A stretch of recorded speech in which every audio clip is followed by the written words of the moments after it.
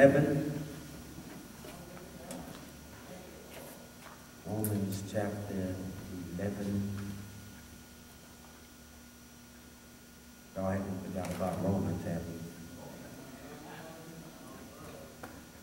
Romans chapter number 11. Look with me, if you please, at verses 33 through 36. Do we have uh, announcements this morning? We'll do them right after the sermon, right before offering. Thank you so much. Romans chapter 11, verses 33 through 36. You ought to be excited. This will be our last sermon from the first portion of the book of Romans. Verse chapters 1 through 11. Then we'll go through these chapters 12 through 16. That's how the book of Romans is divided up into two sections primarily, chapters 1 through 11, and then chapters 12 through 16. Trust that everyone has it. Word our God reads like this. Oh, the depth of the riches, both of the wisdom and knowledge of God. How unsearchable are his judgments and unfathomable his ways. Who has known the mind of the Lord? Or who became his counselor? Or who has first given to him that it might be paid back to him again? For from him and to him and through him are all things. To him be glory forever. Amen. I'm going to read that one more time just because it feels good to me. For from him, that's God, and to or through him, that's God, and to him are all things. To him, to God be glory, no one else, forever. Amen. I want to preach this morning from the subject, worship the God of Israel. Worship the God of Israel. You may have your seats. Thank you very much. Ushers, you're certainly too kind. Worship the God of Israel. Worship God of Israel. Throughout the 17th century in France, there was a man by the name of Francisco Fenelon. He was the minister of King Louis the 14th. King Louis the 14th was a devoted, devout, faithful Christian believed in attending worship service every Sunday.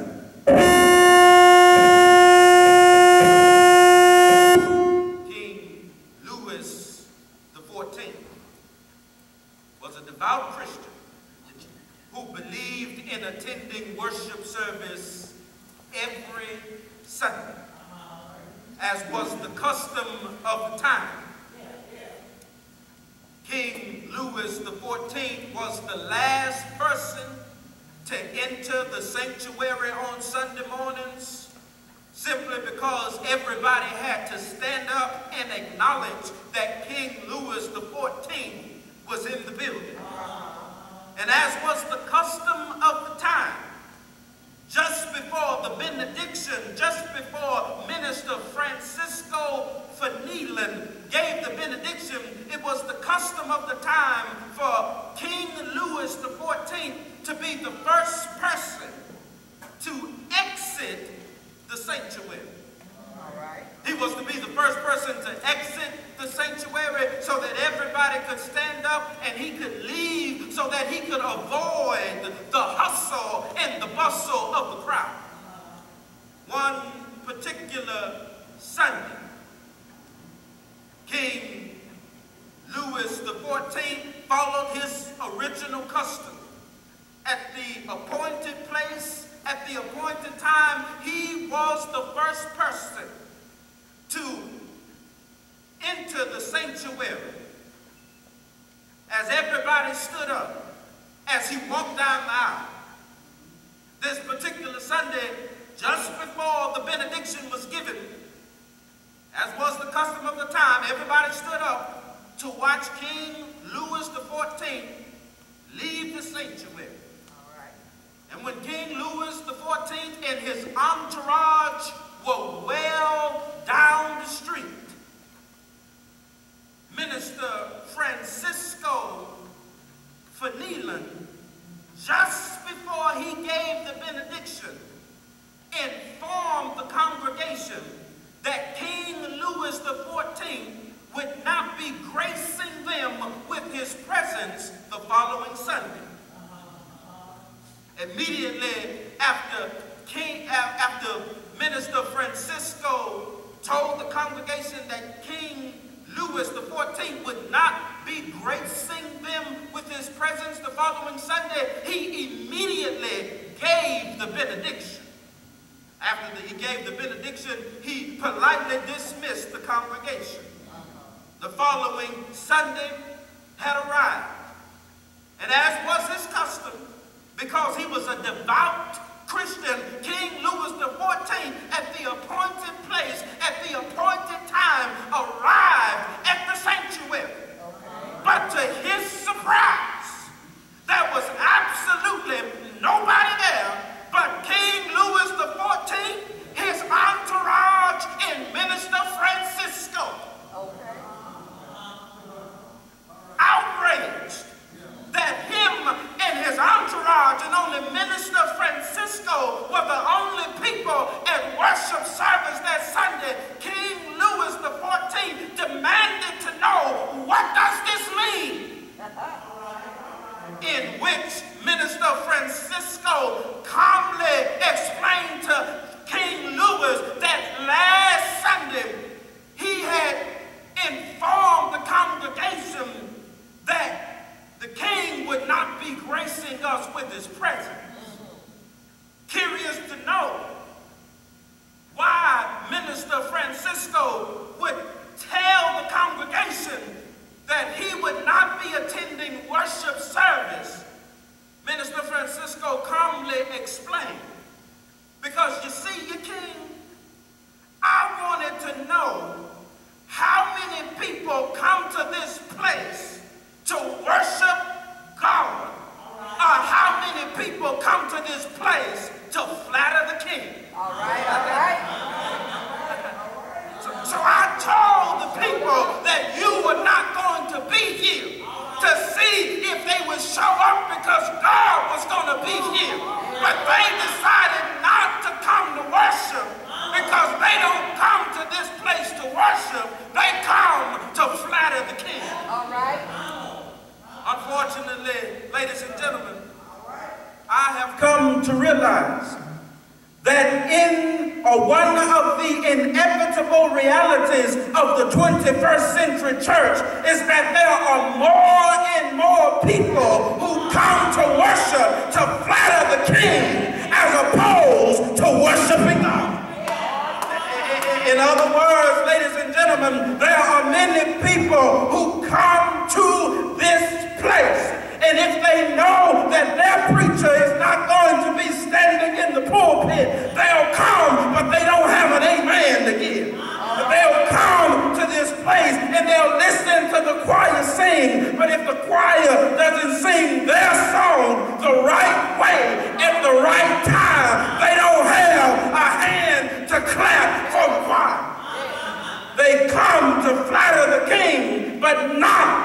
to worship God. I want to know, is there anybody in this place who came here this morning to give God the praise that he so rightfully deserves? I don't care who preaching, don't care who's singing, don't care who passing out envelopes. I didn't come to see you.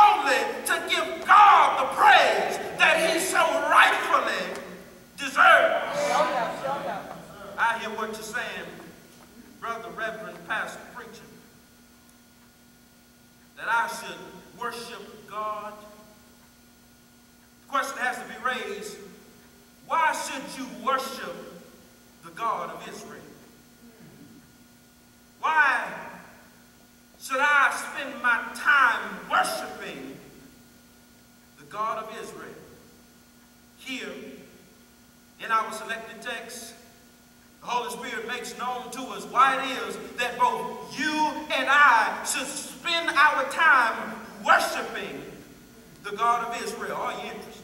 Come on. You should worship the God of Israel first because the God of Israel is God all by himself. You should worship the God of Israel because the God of Israel is God all by himself. If you've been gracing us with your presence throughout this sermon series throughout the book of Romans, in chapters 1, 2, 3, 4, 5, 6,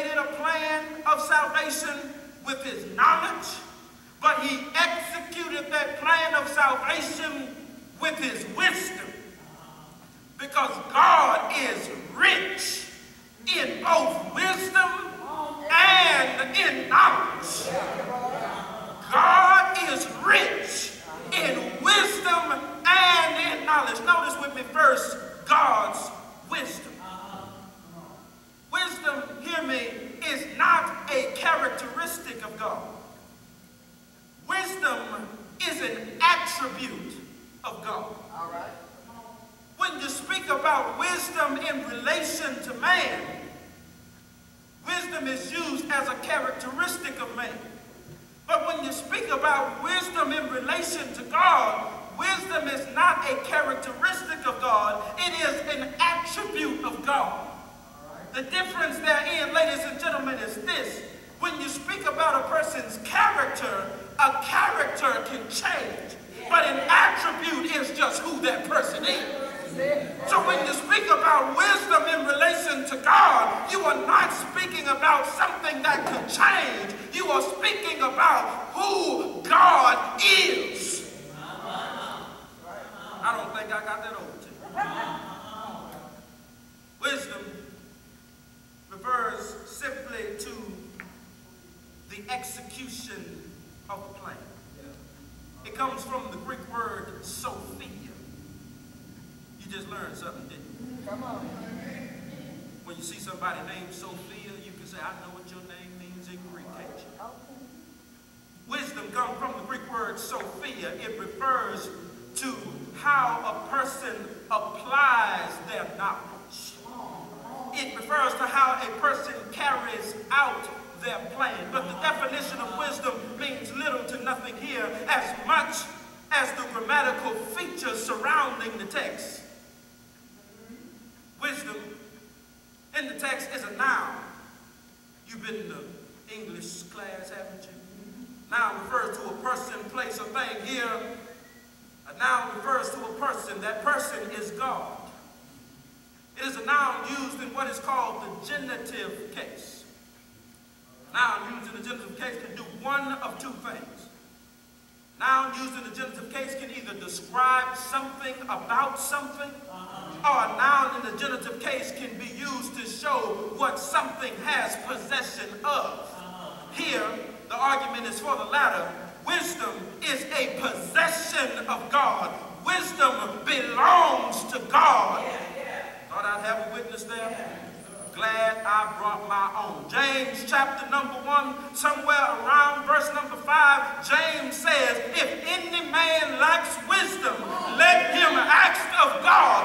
Why would I ask God for wisdom? Because God is the one who possesses wisdom. Watch this. If God is the one who possesses wisdom, and you need to ask God for wisdom, what makes you think that God needs your help being God? If you gotta ask God for everything you need, what makes you think that God needs your two cents to get what he wants done?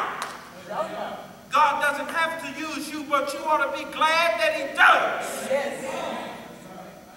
You ought to worship the God of Israel because he does not need any help being God. God executes his plan of salvation with his wisdom, but God formulates his plan with his knowledge. Paul says not only is God rich in wisdom, it's right there in verse 33, but he is also rich in knowledge. Knowledge refers to complete knowledge. There is nothing that God does not know. There is nothing that God does not know. What makes God's knowledge so supreme to man's knowledge is that God's knowledge is three-dimensional. Man's knowledge is two-dimensional. Man can see the past and the present. God can see past, present, and future. God uses his infinite knowledge to formulate his plan of salvation. And he used his infinite wisdom to execute his plan of salvation. God's knowledge is infinite. God's wisdom is infinite. Your knowledge is limited. My knowledge is limited. Your wisdom is limited. My wisdom is limited. But God has no limits. And because God knows the beginning from the end and the end from the beginning, he don't need you. Neither does he need me to execute his plan. Come on now. But what makes us worship the God of Israel is that he was gracious enough to not only include us, but to use us. That's what motivates us to worship when we really understand that God could have chose anybody to do what he wanted to do, but he saw something, whatever it was in me, to use me. Thank you, Lord. Paul says, God is rich in wisdom. He's rich in knowledge. But just when you think Paul is finished, he takes it a step further in the B portion of verse 33, and he says, How unsearchable are the judgments of God. Word unsearchable here is comes from a compound Greek word, simply used as a forensic term.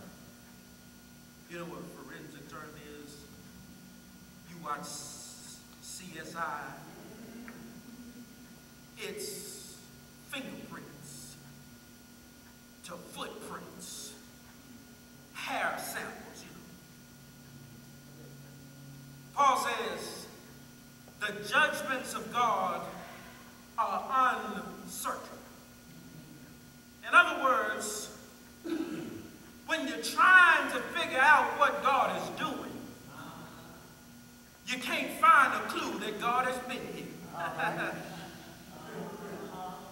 when you're looking for God's footprint, there's no sign of it. Paul digs deeper by using the word judgments. Judgments refers to God's decision-making process. It refers to how God makes decisions, or it simply refers to how God thinks. We are guilty of trying to figure out how God thinks. We are guilty of telling people this is happening to you because God didn't like when you did this. All right. And this is happening to me because I do this. God's been gracious to me because this, that, and the other. That's completely out of order with Scripture. Paul says God's judgments are unsearchable. Uh-huh. In other words, I don't know why God decided to do this. Uh-huh.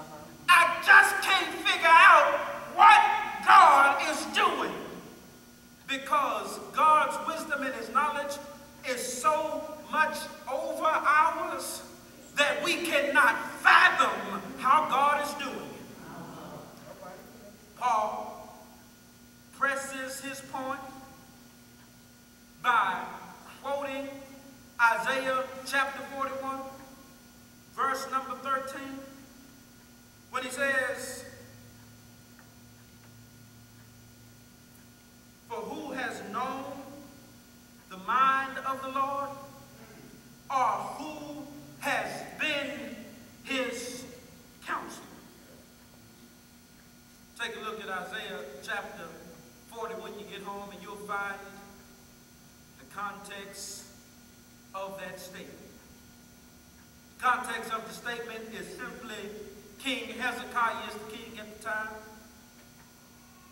King Hezekiah allows the Babylonians to come in and search out all his treasure places. And after the Babylonians leave, Isaiah goes to King Hezekiah and he says, what them Babylonians want? And he said, oh, they just wanted to take a look at my treasure. And Isaiah told King Hezekiah that the Babylonians, he prophesied to him that the Babylonians would come and they would take all of his treasure.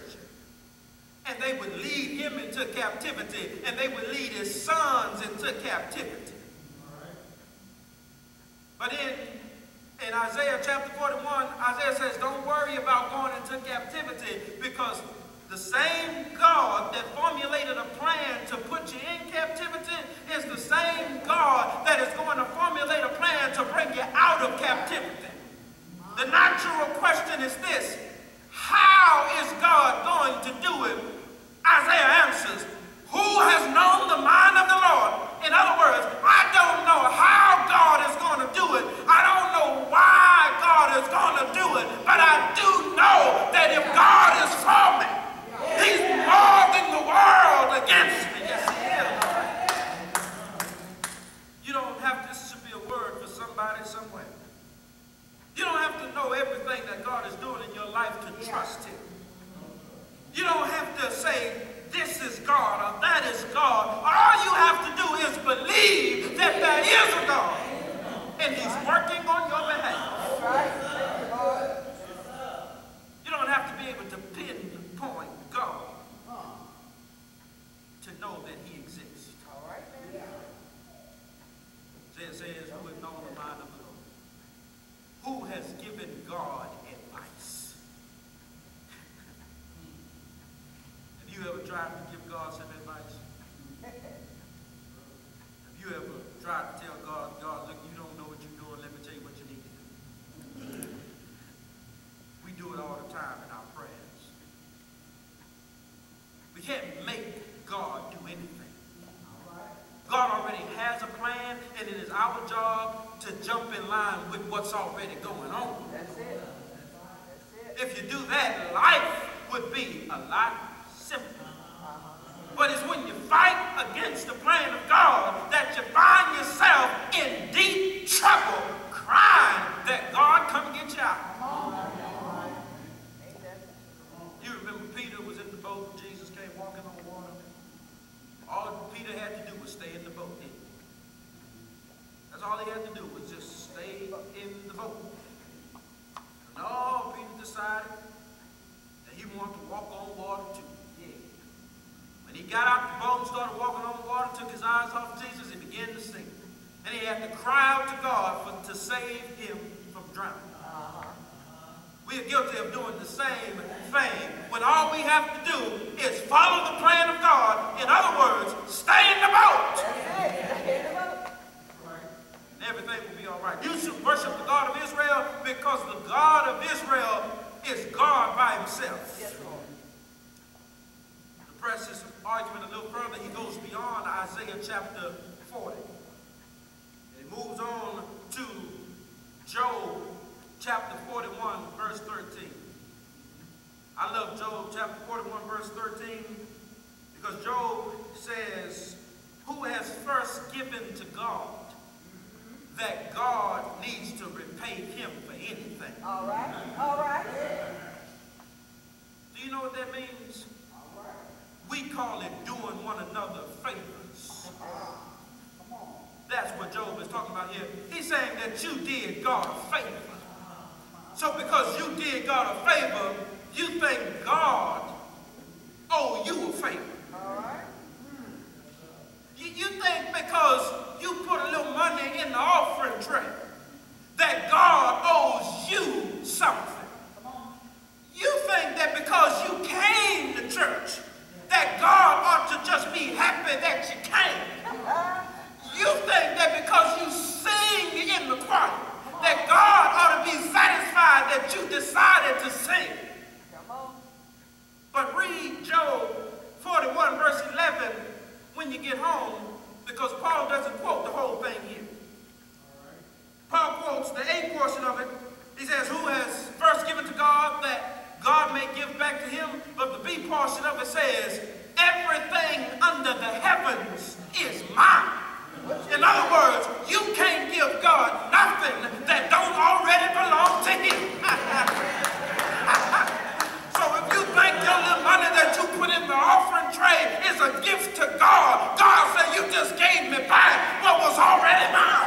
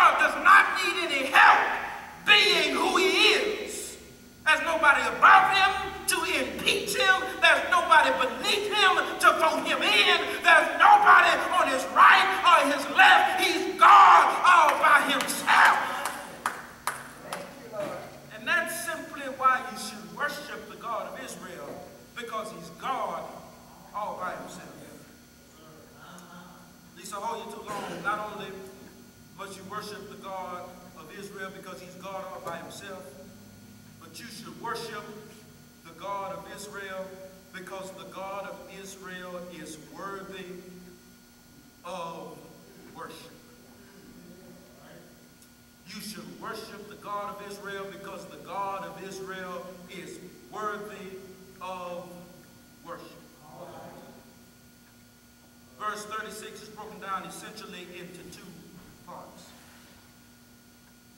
The eighth portion of verse 36, Paul says, For from him and through him and to him are all things. Paul here explains why it is the, cre- the, the creator and the giver of everything is worthy of worship. Notice my speech here. I did not say that the God of Israel is worthy of your worship. All right. I said the God of Israel is worthy of worship.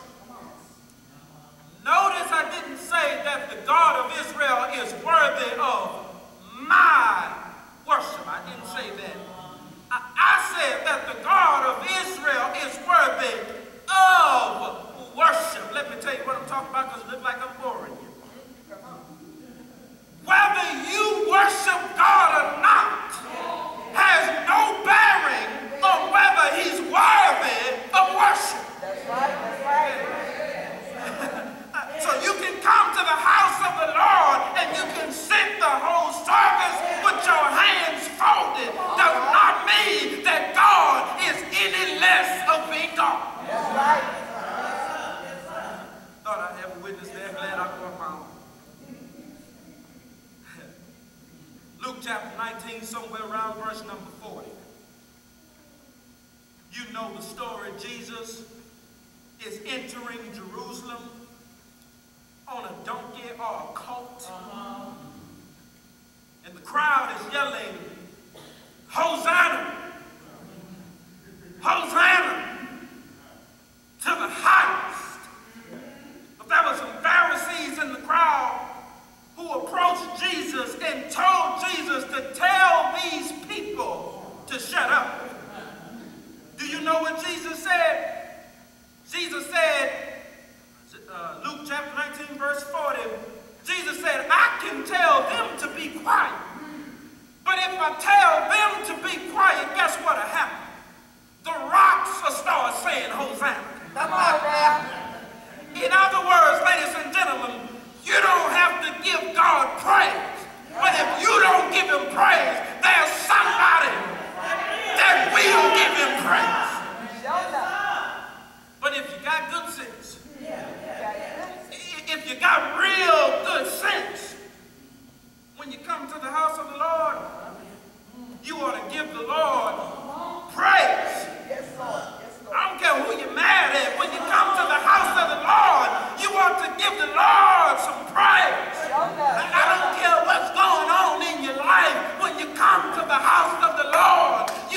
give the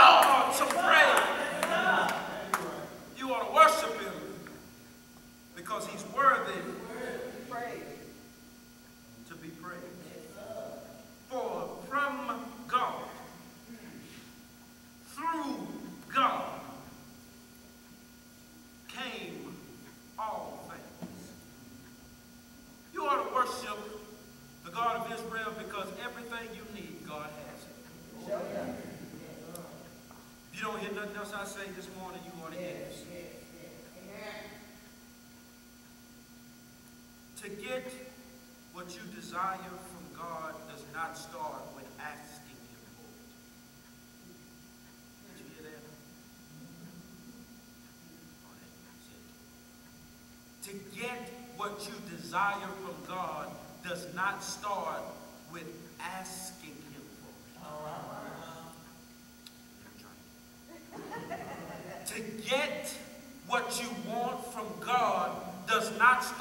with you asking Him for it. All right. It starts with you worshiping Him.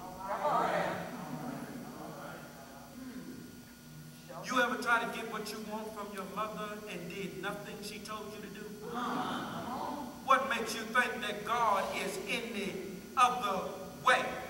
You don't go to God and don't care nothing about worshiping Him, but think you go get something out of Him. Don't work that way. Paul says everything comes from God, but it starts with worship. Starts with worship. He says, to him, all things came from God. And for this reason, to God be glory. God is rich in wisdom. God is rich in knowledge. God owns everything. Paul concludes first portion of the book of Romans by saying this To him be glory. Word glory here simply refers to a person who is worthy of respect. Glory here refers to a person who is worthy of reverence. Refers to a person who is worthy of worship. In essence, Paul says, out of everything that I've told you, you ought to worship the God of Israel because he's worthy of worship. I- Show them, Lord. Not because he gave you the house you wanted. Right.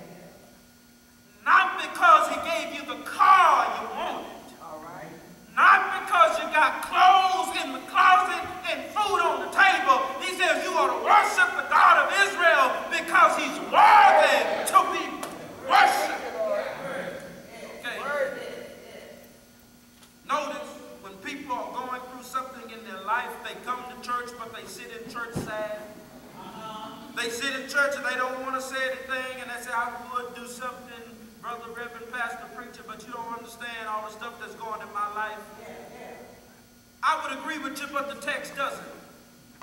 The text says that you should worship God not because you're feeling good. Come on now. Not because you're looking good, uh, or, or not because everything is going right in your life, but you should worship God because He's worthy That's it. That's it. to be worshiped. Thank you, Lord. Worship God because He's worthy to be worshiped and because He has everything that you need to survive. Genesis chapter 42, you know the story of Joseph, the son of Jacob, who was sold into slavery by his brothers. Make a long story short, Joseph became second in command of Egypt. He got this authority because he was able to interpret Pharaoh's dream. Interpreted Pharaoh's dream by telling him that all the lands, including Egypt, would go through seven years of.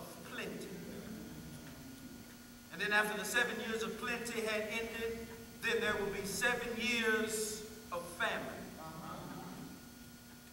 So Joseph formulated a plan that in the seven years of plenty, how to store crops that they would not starve to death during the seven years of famine.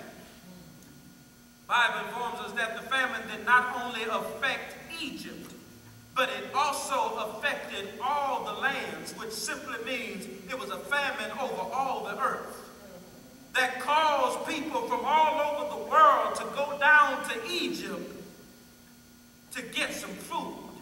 All right. Jacob told his sons that had sold Joseph into slavery to go down and get some food from Egypt. And when the brothers went to Egypt, guess what the Bible says they did? They fell down on their face, which was a form of worship. Uh-huh. They fell down on their face because Joseph had what they needed. Come here, let me talk to you for a minute. If you want what you need from somebody who has what you need, you have to start with worship Yes. because he's worthy of worship. That's it. Thank you, Lord. You don't get what you want from God by, a- by starting by asking for it. You get it by starting with worship. I'm in my seat. All I've been trying to tell you in this short time we've spent together is that you should worship the God of Israel. Because the God of Israel is God all by himself. Not only should you worship the God of Israel because he is God all by himself, but you should worship the God of Israel because the God of Israel is worthy of worship.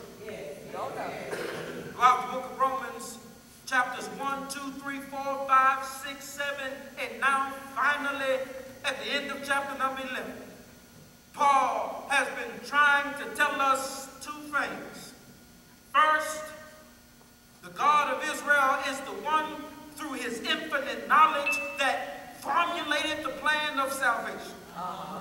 Not only was the God of Israel the one through his infinite knowledge, the one who formulated the plan of salvation, but God through his infinite wisdom was the one who executed his plan of salvation